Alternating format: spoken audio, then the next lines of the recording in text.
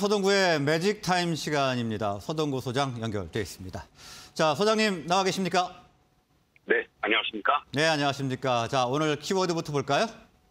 네, 한마디로 말씀드린다면 어, 미국의 지표 부진의 부진, 지표가 부진했다는 얘기죠. 거기에 또 매파적 발언들이 어떤 시장의 단기적인 상승을 좀 억누르는 듯한 이러한 그 흐름으로 작용하고 있다라고 말씀을 좀 드리겠습니다.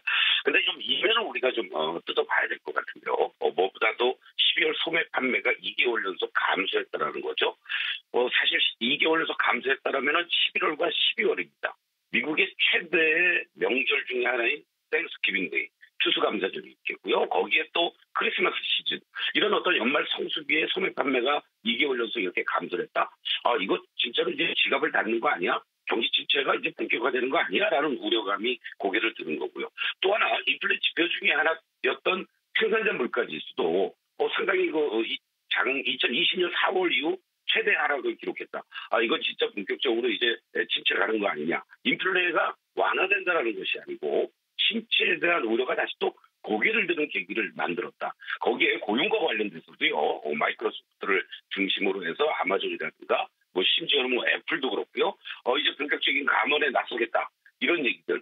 자, 이런 것들이 사실은 고용의 안정성이 미국에서 또 연준에서 지속적으로 인플레를 잡기 위한 금리 인상을 촉발시킬 수 있는 계기가 됐는데 거꾸로 얘기하면 이러한 흐름들이 나왔다라는 것은 오히려 금리 인상을 마무리하는 시기도 빨라질 수 있고 일본 연준 인사들도 금리의 속도 조절, 피봇에 대한 이런 언급을 하기 시작했다라는 거 이런 것들을 감안한다면 지금은 연초 들어서 단기간에 급등한댔다는 숨고르기 과정이 필요한 시점이었고 그러한 상황 속에서 이런 지표라든가 매파적 발언이 마치 울고 싶은 아이에게 뺨을 때린 듯한 이러한 흐름이라고 여러분들이 보시면 좋을 것 같습니다. 결국 지수는 좀 더 숨고르기 하는 과정이 필요하고요. 제가 강조해드렸던 2365포인트 그리고 710포인트에 대한 지지 공방을 조금 더 보일 테니까 종목별 수익률 게임으로 대응하는 것이 현 구간에서는 조금 더 유리하다. 이렇게 다시 한번 강조를 드리겠습니다. 네, 오늘의 키워드는 지표와 매파적 발언 들어주셨고요. 다음은 공략주를 좀 알아볼 텐데, 자 지난 시간에 추천을 어, 분석을 해주셨던 YG 플러스 목표가에 도달을 했네요. 어, 리뷰를 좀 부탁드리겠습니다. 네, 그렇습니다. 아, 뭐 YG 엔터 그리고 하이브와 함께 합작으로 음원 유통 어, 이쪽을 어떻게 보면 이제 유통회사다 이렇게 여러분들 이해하시면 좋겠는데 시장의 흔들림 속에서도 어, 전혀 개의치 않고 나홀로 꿋꿋하게 갈 길을 가겠다라는 이러한 모습을 보여주고 있습니다. 아, 지금 차트 모습을 보시겠는데요. 작년 11월부터 저점을 확인한 이후에 빨간 다이아몬드가 지속적으로 유지, 가 되고 있고요. 최근 들어서는 이제 빨간 다이아몬드도 다시 어떤 매수의 강도 어, 이런 부분들이 강화가 되면서 어, 계속해서 다이아몬드가 볼륨이 이, 커지고 있는 이러한 모습을 확인해주고 계십니다. 어, 목표가 지난 12월 22일 날 제시해 드렸는데요. 어, 상당히 어떻게 보면 좀 더딘 듯한 모습이지만 안정적인 이런 상승의 흐름을 잘 보여주고 있다. 5,200원을 넘어섰죠.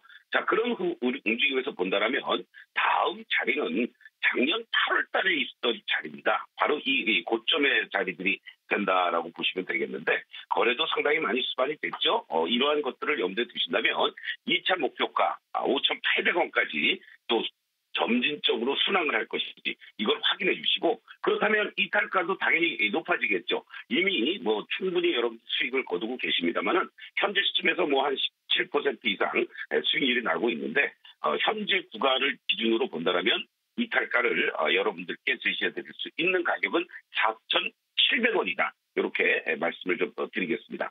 어, 안정적인 흐름들을 보여주고 있으니까요. 뭐 여기서 굳이 수익 실현하지 마시고 조금 더 끌고 가도 좋다. 이렇게 말씀드리겠습니다. 네, 자 2차 목표가 5,800원 제시를 해주셨고요. 그리고 이탈가는 4,700원 말씀 주셨습니다. 자 다음은 오늘 공략주 알아볼까요? 네, 오늘 전체적으로 어, 지수는 어, 생성 양봉이 나와주면 좋겠지만 양봉이 나올 가능성이 높습니다. 이런 과정 속에서 어, 또 원전 관련주들이 오늘 중심에 들어서는데요.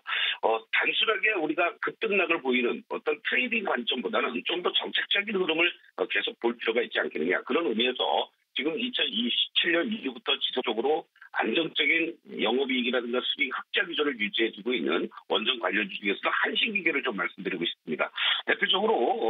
타입이라든가 스크루 타입에 있어서 전기종을 바로 공기 압축기라고 얘기를 하는데요. 어, 국내에서 유일하게 공급하는 업체, 업체입니다. 발전 설비- 설비라든가 원자력 쪽에 당연히 예, 들어갈 수밖에 없는 그런 부분들이 되겠는데 뭐 2021년에 신울진이라든가 또 고리 3, 4, 5기 등의 제품을 공급한 바가 있겠고요. 어, 지금 어, 또 어, 스위스 어, 다보스 회의에서도 우리 산자부 장관이 가서 뭐 폴란드, 체코 어, 장관들과 독대를 하면서 이 원전 수주 뭐 관련된 이런 협의도 진행한다라는 거. 앞으로도 올해 내내 계속 이와 같은 얘기들은 나올 테니까 어, 이런 어, 한전 한식기계를 비롯한 원전 관련주들은 여러분들이 조금 포트에는 조금씩이라도 좀 담아놓는 게 좋지 않겠느냐 이렇게 말씀을 좀 드리겠습니다. 자 한식기계 차트를 보시겠는데요. 어, 지난번에도 올 초에 이뭐 우간다 얘기도 나오고 여러 얘기들이 나오면서 단기간에 급등을 했습니다.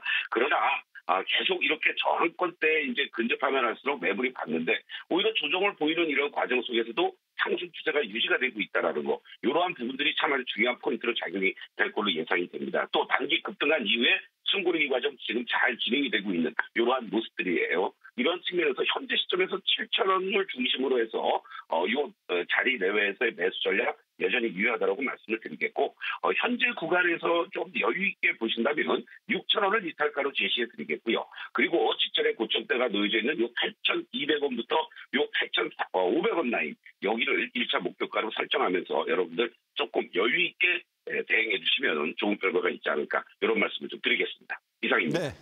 자, 네. 오늘은 한신 기계까지 알아봤습니다. 오늘 말씀 여기까지 듣겠습니다. 고맙습니다. 네, 고맙습니다.